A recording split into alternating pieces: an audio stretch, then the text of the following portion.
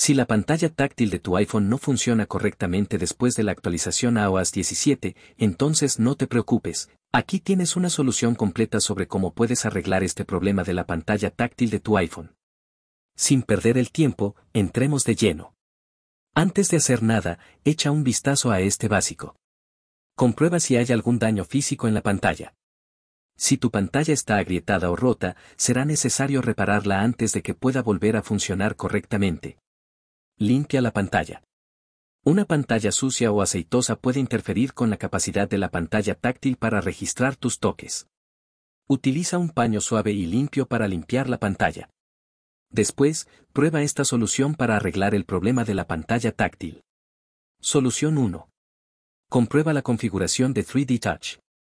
Abre ajustes. Desplácese hacia abajo. Pulse accesibilidad. Pulse sobre táctil. A continuación, pulsa sobre Haptic Touch. Y configúrelo como rápido. Solución 2. Reinicia y actualiza.